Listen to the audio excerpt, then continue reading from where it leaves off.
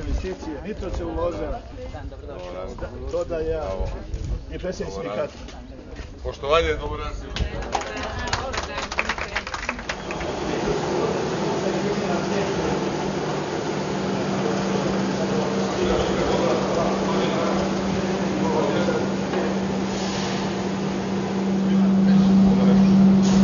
Znači, ovo je za 152 novog, evo, pogledajte, mora, znači ovo što radimo sa zajedno.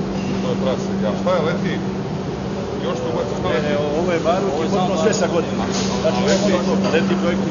A ti ne znam, koliki je on? Projekti koji je, tamo ima težinu 40.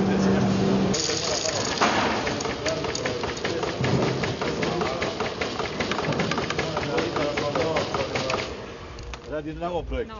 Stančić, fakultetu kanalizacije, fon, deo. A, fon Vrovski? Da, struka, najmanje. Direktor struka. Pa, bivši direktor.